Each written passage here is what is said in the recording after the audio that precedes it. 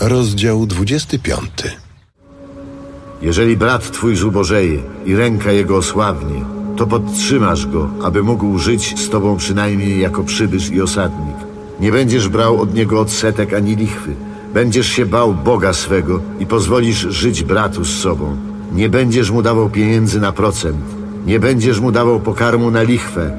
Ja jestem Pan, Bóg wasz, który wyprowadził was z ziemi egipskiej, aby dać wam ziemię Kanaan i aby być waszym Bogiem. Witam serdecznie na kanale Zakochany w Biblii, gdzie wspólnie czytamy Biblię ze zrozumieniem. W poprzednim odcinku poznaliśmy zasady roku szabatowego i jubileuszowego, które odmieniają nasze spojrzenie na nasze własne zadanie życiowe. Stawia przed nami wysokie spojrzenie na naszą rolę w świecie. Końcem końców chodzi o budowanie Królestwa Bożego na ziemi, aby wierzący wprowadzili na ziemi sprawiedliwość i prawość, o czym będą obszernie mówili prorocy. Prorocy nie sprzeciwiają się kapłanom. Obie grupy dążą do pełni życia, wolności i świętości. Skoro o wolności mowa, w Izraelu nikt nie może pozostawać na zawsze czyimś niewolnikiem. Co 50 lat rok jubileuszowy uwalnia wszystkich niewolników, znosi wszystkie długi i przywraca ziemię do pierwotnego właściciela. Ambitny program, który można zrozumieć jedynie w takiej perspektywie, że wszelka ziemia należy do Boga, że Izraelici są jedynie jej zarządcami. Jeśli otrzymali ziemię obiecaną w dzierżawie, to tylko dzięki interwencji Boga, który poprzez uwolnienie z Egiptu podnosi ku wolności wewnętrznej, w szczególności ku wolności od pożądania posiadania. Prawdziwa wolność uwalnia innych, stąd prawo roku jubileuszowego. Posłuchajmy jeszcze raz usłyszanego fragmentu i Zwróćmy uwagę na uzasadnienie wszystkich tych pięknych przepisów. Chodzi o przedłużenie ruchu wyzwolenia z Egiptu.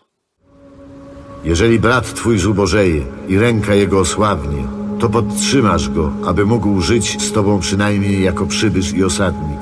Nie będziesz brał od niego odsetek ani lichwy. Będziesz się bał Boga swego i pozwolisz żyć bratu z sobą. Nie będziesz mu dawał pieniędzy na procent nie będziesz mu dawał pokarmu na lichwę. Ja jestem Pan, Bóg wasz, który wyprowadził was z ziemi egipskiej, aby dać wam ziemię Kanaan i aby być waszym Bogiem. Skąd przychodzi nakaz troski o biednych?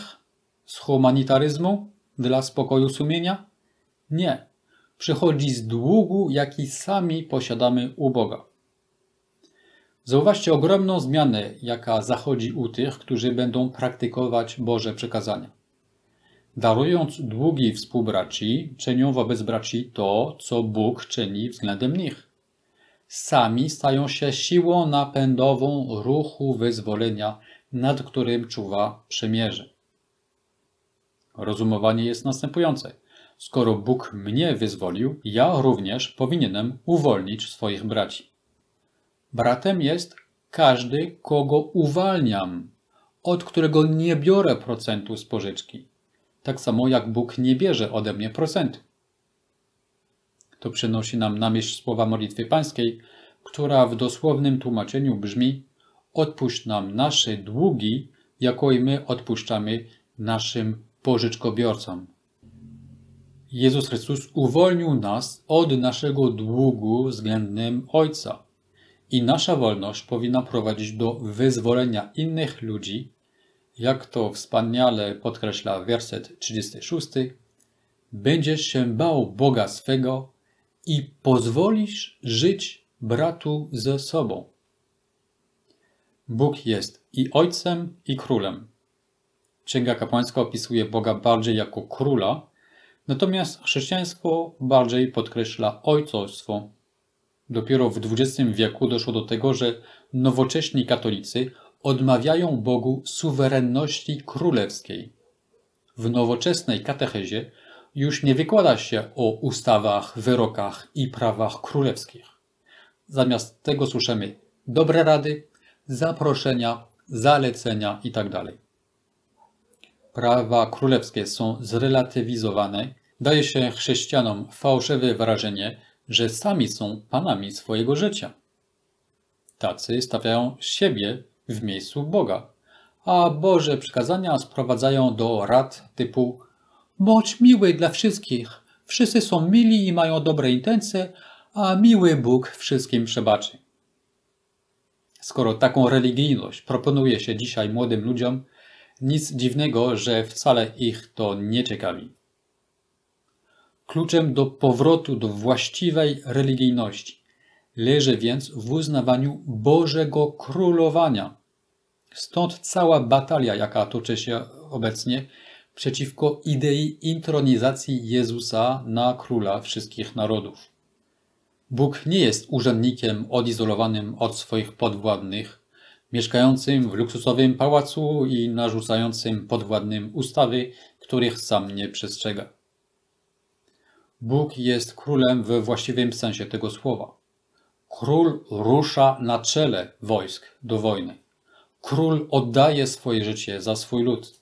Król daje przykład praworządności i uczy, na czym polega prawdziwa wolność na wyzwoleniu swoich braci. Boże królowanie jest ojcowskie, a więc dąży do przekazywania życia, dąży do uczynienia nas pełnoprawnych dzieci, dziedziców ludzi wolnych. Tylko pełnoprawne dzieci króla są wolni i wspólnie z nim królują. Królestwo i ojcostwo są ze sobą ściśle powiązane. Po czym poznać, że ktoś jest wolny? Po tym, że uwalnia swoich braci, że nie bierze ich w niewolę. Wszystko czynione w imieniu bojaźni pańskiej, bojaźni króla i ojca nas wszystkich. Ciąg dalszy tekstu omawia uwolnienie niewolników z okazji roku jubileuszowego wypadającego raz na 50 lat.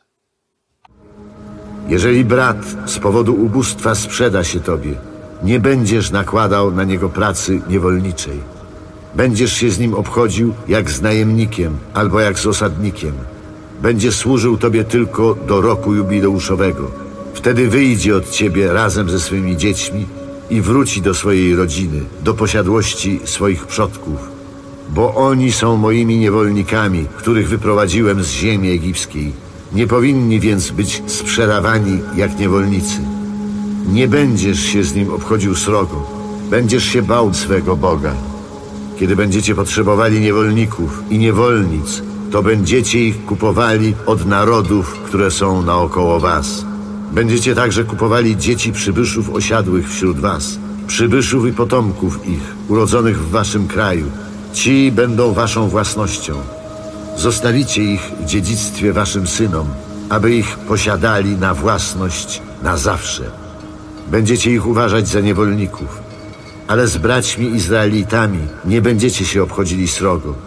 Jeżeli przybysz osiadły u ciebie się wzbogaci, a brat twój zubożeje i sprzeda siebie przybyszowi osiadłemu u ciebie, albo potomkowi przybysza, to ten, który się sprzedał, może być wykupiony. Jeden z braci jego wykupi go. Także jego stryj albo syn jego stryja może go wykupić, albo którykolwiek z krewnych z jego rodziny wykupi go, albo też on sam siebie wykupi, jeżeli będzie go na to stać. Wtedy wspólnie ze swym nabywcą obliczy czas od roku, w którym sprzedał siebie, aż do roku jubileuszowego. Cena, za którą się sprzedał, będzie odpowiednia do liczby lat. Czas jego niewoli będzie mu policzony za dni najemnika. Jeżeli jeszcze dużo lat jest do jubileuszu, to odpowiednio do ich liczby zwiększy cenę wykupu. Ale jeżeli pozostaje niewiele lat do roku jubileuszowego, obliczy je i odpowiednio do liczby tych lat zapłaci swój wykup. Będzie u ciebie jako najemnik rok po roku. Nie będą się z nim srogo obchodzić w twojej obecności. Jeżeli zaś w ten sposób nie będzie wykupiony, to wyjdzie na wolność w roku jubileuszowym razem ze swoimi dziećmi. Moimi bowiem niewolnikami są Izraelici. Oni są moimi niewolnikami. ci, których wyprowadziłem z ziemi egipskiej. Ja jestem Pan, wasz Bóg. Podziwiajmy wspaniałomyślność prawa Bożego. Co 50 lat mają być zwrócone wolność i posiadłości. Takie prawo mógł wymyślić tylko Bóg. Żaden człowiek nie jest skłonny do stawiania sobie barier na gromadzenie dóbr i bogactw. Według historyków prawo roku jubileuszowego nigdy nie zostało wyegzekwowane. To zbyt wymagające zerwać z mamonną. To zbyt wymagające zaufać Bogu i wierzyć Jego obietnicom dobrobytu dla tych, którzy Jego słuchają i są Jemu posłuszni. Tym niemniej, obecność roku jubileuszowego w prawie Bożym staje się świadectwem na wieki tego, że wszyscy uciemiężeni mogą oczekiwać odpuszczenia win, jak przypominają prorocy Izajasz i Jeremiasz. Rozdział 58. Krzycz na całe gardło, nie przestawaj. Podnoś głos Twój jak trąba. Wytchnij mojemu ludowi jego przestępstwa i domowi Jakuba jego grzechy. Szukają mnie dzień za dniem, pragną poznać moje drogi, jak naród, który kocha sprawiedliwość i nie porzuca prawa swego Boga. Proszą mnie o sprawiedliwe prawa, pragną bliskości Boga. Czemu pościliśmy, a Ty nie wejrzałeś? Umartwialiśmy siebie, a Ty tego nie uznałeś. Otóż w dzień waszego postu wy znajdujecie sobie zajęcie i uciskacie wszystkich swoich robotników. Otóż pościcie wśród waśni i sporów i wśród niegodziwego walenia pięścią. Nie pośćcie tak, jak dziś czynicie, żeby się rozlegał zgiełk wasz na wysokości. Czyż to jest post, jaki ja uznaję? Dzień, w którym człowiek się umartwia? Czy zwieszenie głowy, jak sitowie, i użycie woru z popiołem za posłanie? Czyż to nazwiesz postem i dniem miłym Panu? Czyż nie jest raczej postem, który ja wybieram?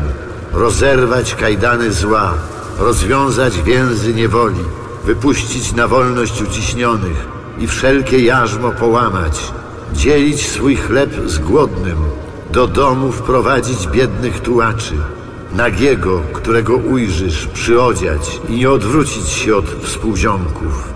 Wtedy twoje światło wzejdzie jak zorza i szybko rozkwitnie twe zdrowie. Sprawiedliwość twoja poprzedzać cię będzie. Chwała pańska iść będzie za tobą. Wtedy zawołasz, a Pan odpowie.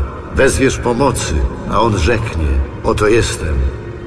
Jeśli u siebie usuniesz jarzmo, przestaniesz grozić palcem i mówić przewrotnie. Jeśli podasz twój chleb zgłodniałemu i nakarmisz duszę przygnębioną, wówczas twe światło zabłyśnie w ciemnościach. Twoja ciemność stanie się południem.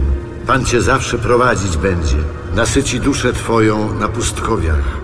Odmłodzi twoje kości tak, że będziesz jak zroszony ogród i jak źródło wody, co się nie wyczerpie. Twoi ludzie odbudują prastare zwaliska. Wzniesiesz fundamenty pokoleń i będą cię nazywać naprawiaczem wyłomów, odnowicielem uliczek na zamieszkanie.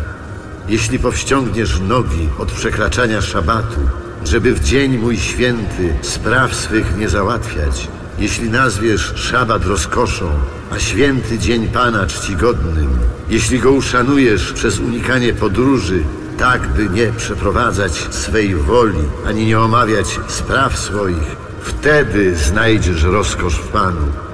Ja cię powiodę w triumfie przez wyżyny kraju, karmić cię będę dziedzictwem Jakuba, twojego ojca, albowiem usta pańskie to wyrzekły.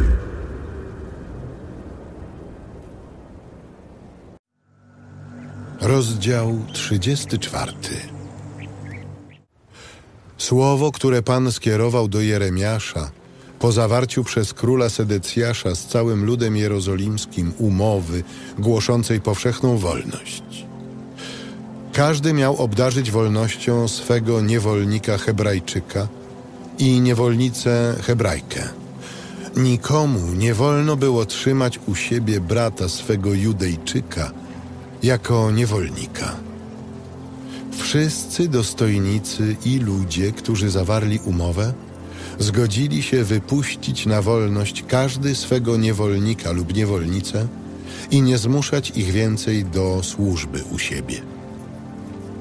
Wyraziwszy zgodę, wypuścili ich na wolność. Potem jednak zmienili zdanie i sprowadzili niewolników i niewolnice, których obdarzyli wolnością, zmuszając, by się stali znów niewolnikami i niewolnicami. Wtedy skierował Pan do Jeremiasza następujące słowo. Tak mówi Pan, Bóg Izraela. Z waszymi przodkami, gdy wyprowadziłem ich z ziemi egipskiej, z domu niewoli, zawarłem przymierze, które mówiło: Po upływie siedmiu lat wypuśćcie na wolność każdy brata swego, Hebrajczyka, który zaprzedał się tobie w niewolę i służył przez sześć lat. Wypuścisz go od siebie jako człowieka wolnego. Przodkowie wasi jednak nie usłuchali mnie, ani nie nakłonili ucha. Wy zaś nawróciliście się dzisiaj i uczyniliście to, co jest słuszne w moich oczach, ogłaszając powszechną wolność. Zawarliście umowę wobec mnie w domu, nad którym wzywano mojego imienia. Zmieniliście jednak zdanie i znieważyliście moje imię. Sprowadziliście każdy swego niewolnika i swoją niewolnicę, których obdarzyliście wolnością według ich uznania. Następnie zaś zmusiliście ich, by byli u was niewolnikami i niewolnicami. Dlatego tak mówi Pan. Nie usłuchaliście mnie, by ogłosić wolność każdy bratu i współziomkowi swemu. Oto puszczam was wolno na miecz, zarazę i głód. Uczynię was nadto przedmiotem zgrozy dla wszystkich królestw ziemi, a z ludźmi, którzy przekroczyli umowę ze mną, którzy nie wypełnili warunków umowy zawartej wobec mnie, postąpię jak z cielcem, którego oni przecięli na dwie części, by przejść między nimi. Przywódców judzkich, dostojników jerozolimskich, dworzan, kapłanów, i cały lud kraju, którzy przechodzili między częściami tego cielca, wydam w ręce ich nieprzyjaciół i w ręce tych, co nastają na ich życie. Zwłoki ich staną się żerem dla ptaków podniebnych i dzikich zwierząt.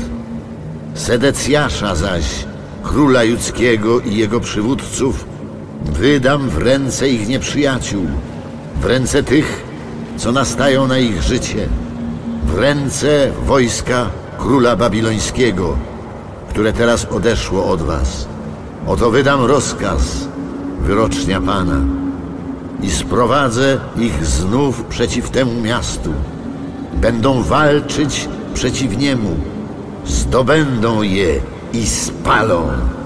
Miasta zaś judzkie uczynię bezludnym pustkowiem.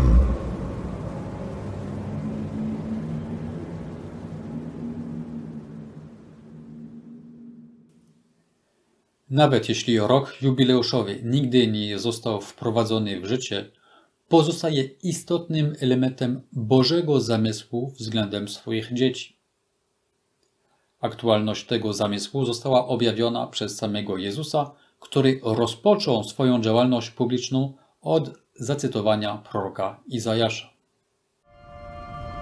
Duch Pana Boga nade mną, bo Pan mnie namaścił Posłał mnie, abym głosił dobrą nowinę ubogim, bym opatrywał rany serc łamanych, żebym zapowiadał wyzwolenie jeńcom i więźniom swobodę, abym obwieszczał rok łaski pańskiej i dzień pomsty naszego Boga, abym pocieszał wszystkich zasmuconych, bym rozweselił płaczących na Syjonie, abym im wieniec dał zamiast popiołu, Olejek radości zamiast szaty smutku. Pieśń chwały zamiast przygnębienia na duchu.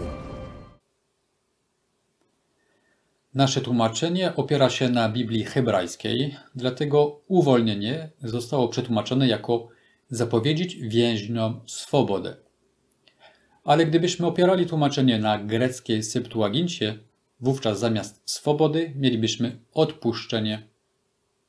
Jest to kluczowa informacja, pozwalająca nam na połączenie pojęcia odpuszczenia Nowego Testamentu, który był napisany po grecku, z instytucją Mojżeszowego roku jubileuszowego. I tak Jan Chrzciciel udzielał chrztu nawrócenia na odpuszczenie grzechów. Ten chrzest był przygotowaniem wreszcie nadchodzącego roku jubileuszowego, zapowiadanego przez Mojżesza.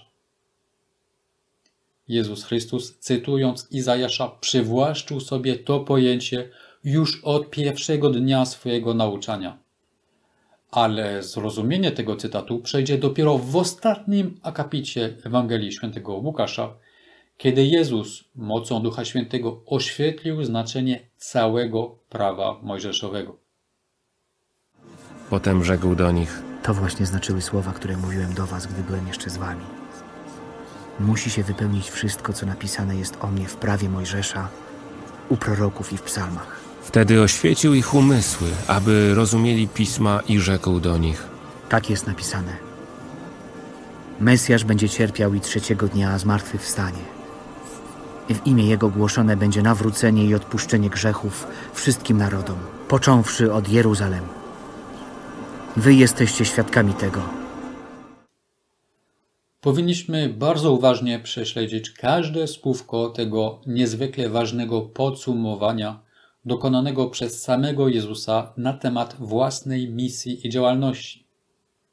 W tym streszczeniu znajdujemy właśnie kluczowe słowo odpuszczenie, które jest odwołaniem do pojęcia mojżeszowego roku jubileuszowego. Prawo jubileuszowe, pogardzane przez starotestamentalnych kapłanów i królów, pogardzane przez chrześcijan, według Bożej perspektywy znajduje się na pierwszym miejscu. Wyzwolenie z Egiptu i cykliczne odpuszczenie długów miało być zapowiedzią Bożego zamysłu globalnego odpuszczenia wszystkich grzechów od pierwszego do ostatniego człowieka. Wyzwolenie z jarzma długów dokonuje Bóg, ale Bóg pragnie, żeby człowiek również miał swój udział w tym akcie wyzwolenia i żeby sam co najmniej raz w życiu, bo średnio każdy człowiek przeżyje w swoim życiu tylko jeden rok jubileuszowy, żeby raz w życiu człowiek miał szansę naśladować Boga i również odpuszczał winy swoich pożyczkobiorców, jak to wyraża przypowieść o bezlitosnym dłużniku. Na zakończenie proponuję Wam wysłuchać całość przesłania księgi Izajasza, zacytowanego przez Jezusa, bo jego słuchacze znali ciąg dalszy tekstu i rozumieli, że tym cytatem Pan Jezus ogłaszał siebie Mesjaszem i znali tego skutki. Życzę owocnego słuchania. Duch Pana Boga nade mną, bo Pan mnie namaścił. Posłał mnie, abym głosił dobrą nowinę ubogim, bym opatrywał rany serc łamanych, żebym zapowiadał wyzwolenie jeńcom i więźniom swobodę, abym obwieszczał rok łaski pańskiej i dzień pomsty naszego Boga, abym pocieszał wszystkich zasmuconych, bym rozweselił płaczących na Syjonie, abym im wieniec dał zamiast popiołu, olejek radości zamiast szaty smutku, pieśń chwały zamiast przygnębienia na duchu. Nazwą ich terebintami sprawiedliwości, szczepem Pana dla Jego rozsławienia. Odbudują prastare rumowiska, podniosą z gruzów dawne budowle, odnowią miasta zburzone, świecące pustkami od wielu pokoleń. Stawią się obcy, by paść waszą trzodę. Cudzoziemcy będą u was orać i uprawiać winnice. Wy zaś będziecie nazywani kapłanami Pana. Zwać was będą sługami Boga naszego. Żywić się będziecie bogactwem narodów. Dobra ich sobie przywłaszczycie. Ponieważ hańba ich była podwojona, a poniżenie i zniewagi były ich udziałem. Przeto w swej ziemi odziedziczą wszystko w dwójnasób i zażywać będą wiecznego szczęścia. Albowiem ja, Pan, miłuję praworządność. Nienawidzę grabieży i bezprawia. Dam im uczciwą zapłatę i zawrę z nimi wieczyste przymierze. Plemię ich będzie znane wśród narodów i między ludami ich potomstwo. Wszyscy, co ich zobaczą, uznają, że oni są błogosławionym szczepem Pana. Ogromnie się weselę w Panu. Dusza moja raduje się w Bogu moim, bo mnie przyodział w szaty zbawienia. Okrył mnie płaszczem sprawiedliwości, jak oblubieńca, który wkłada zawój, jak oblubienicę strojną w swe klejnoty. Zaiste, jak ziemia wydaje swe plony, jak ogród rozplenia swe zasiewy, tak Pan Bóg sprawi, że się rozpleni sprawiedliwość i chwała wobec wszystkich narodów.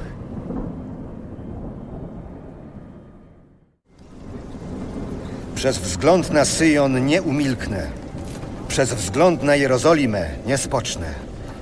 Dopóki jej sprawiedliwość nie błyśnie jak zorza i zbawienie jej nie zapłonie jak pochodnia. Wówczas narody ujrzą Twą sprawiedliwość i chwałę Twoją wszyscy królowie. I nazwą Cię nowym imieniem, które usta Pana określą. Będziesz prześliczną koroną w rękach Pana, królewskim diademem w dłoni Twego Boga. Nie będą więcej mówić o Tobie porzucona. O krainie Twej już nie powiedzą spustoszona. Raczej Cię nazwą moje w niej upodobanie, a krainę Twoją poślubiona.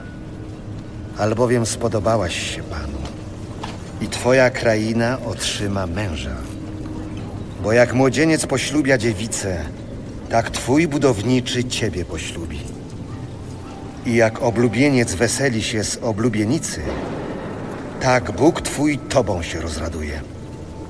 Na Twoich murach, Jeruzalem, postawiłem straże. Przez cały dzień i całą noc nigdy nie zamilkną. Wy, co przypominacie wszystko Panu, sami nie miejcie wytchnienia i Jemu nie dajcie spokoju, dopóki nie odnowi i nie uczyni Jeruzalem przedmiotem chwały na ziemi. Przysiągł Pan na prawicę swoją i na swe ramię potężne. Nigdy już nie dam Twojego zboża nieprzyjaciołom Twoim na pokarm. Cudzoziemcy nie będą pili Twego wina, przy którym się natrudziłeś. Raczej Twoi żeńcy będą spożywać zboże i będą chwalili Pana. Ci zaś, co wino zbierają, pić je będą na dziedzińcach mojej świątyni. Przechodźcie! Przechodźcie przez bramy! Otwórzcie drogę ludowi! Wyrównajcie, wyrównajcie gościniec! Uprzątnijcie kamienie! Podnieście znak dla narodów! Oto, co Pan obwieszcza wszystkim krańcom ziemi. Mówcie do córy syjońskiej. Oto Twój Zbawca przychodzi. Oto Jego nagroda z Nim idzie i zapłata Jego przed Nim. Nazywać ich będą ludem świętym, odkupionymi przez Pana. A Tobie dadzą miano poszukiwane, miasto nieopuszczone.